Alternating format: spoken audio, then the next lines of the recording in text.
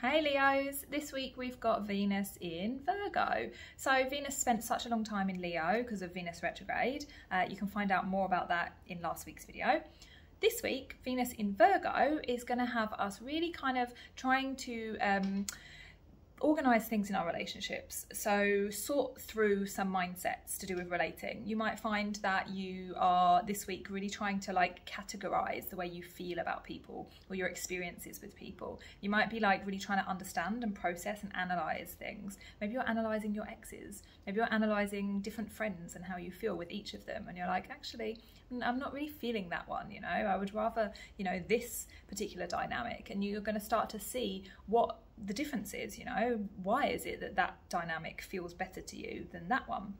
and how can you make sure that you prioritize these kind of people the ones that make you feel good when you interact with them so there's a lot of thinking involved this week might be also a lot of speaking uh, if you have somebody in your life that you can talk to about these things it can be very illuminating uh, to kind of like just discuss what it is that you're discovering about your relationships this week so your cards are the Wheel of Fortune and the Two of Pentacles. So both of these cards represent change. So change is coming.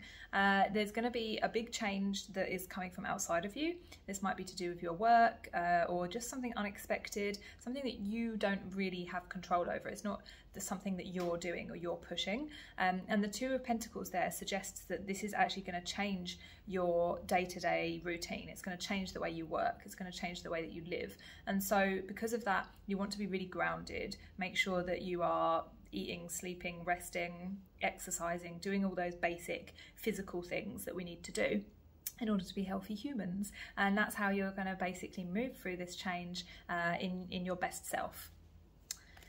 So have a lovely one, guys. If you would like a reading, there are links below. Subscribe, and I'll see you next